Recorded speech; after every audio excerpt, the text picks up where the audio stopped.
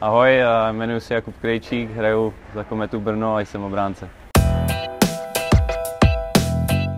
I think everybody from Czech Republic has uh, Jaromír Jágr, but uh, I don't remember when I was young, but now I, I like Erik Karlsson, so yeah, maybe. What does he do? Yeah, he's a perfect skater, uh, good shot.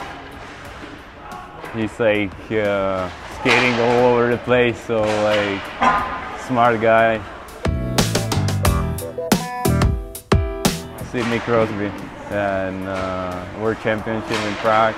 Uh, he's a great, great player, like amazing. I don't know.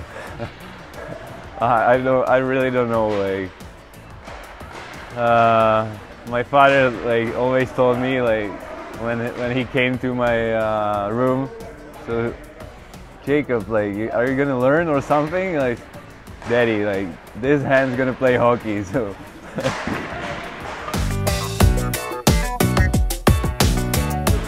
Ah, I had couple, but World Championships again in Prague.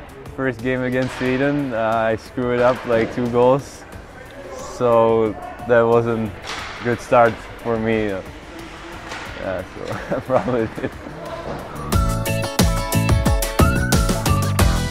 Maybe like one guy less like thinks that he used the tape, like he do like 30 rounds, like it's crazy. So he has like one tape for two practices, like maybe this.